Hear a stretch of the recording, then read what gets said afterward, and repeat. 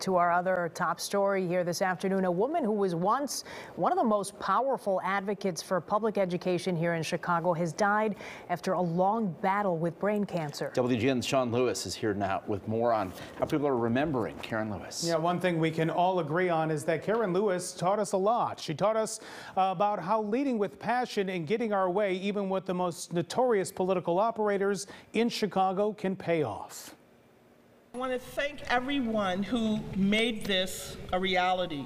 Hers became a household name, revered by some, reviled by others. Karen was was a champion. None of us um, can do what Karen did. Today, those who knew Karen Lewis best recall a well liked high school science teacher who ran and won the right to lead the Chicago Teachers Union in 2010. She had the courage to call out what were really dominant narratives about um, unions just being there to uh, protect bad teachers. We have TA. We Bold have and brash, she went up against first Mayor Daley's education plan, then, famously, with newly elected Mayor Rahm Emanuel in the contentious contract battle. And as she uh, talked to the mayor and tried to advocate, and she said, teachers are not babysitters. He uttered those famous words, you know, um, F you, Lewis. That was a middle finger to 30,000 teachers in the, in the city of Chicago. It's a liar.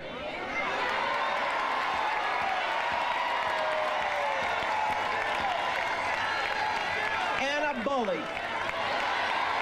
The only way to beat a bully is to stand up to a bully. Her name and political clout so recognized that hers was a leading name to run against Emanuel in his 2015 reelection bid. You know, sometimes they would go at it and they didn't always see eye to eye, uh, but he certainly respected her and appreciated the legacy that she has now left to the city of Chicago. Even today, the former mayor called Lewis a tough and tireless champion for public education. While we often found ourselves on different sides of the debate, he said, I grew to have enormous respect for Karen. Karen could go toe to toe with the best of them. But even before her campaign could begin for mayor, she withdrew, citing her health.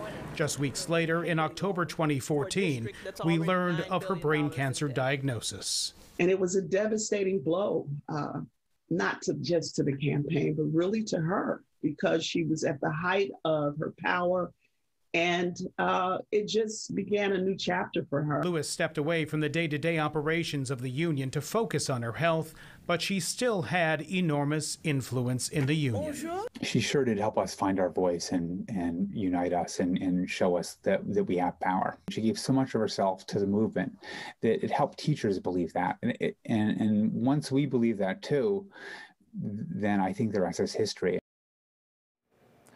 And today, Congressman Chuy Garcia is remembering Lewis as a friend and mentor, saying in part this In 2015, she encouraged me to run for mayor of Chicago when her own bid was cut short by medical complications. I am humbled.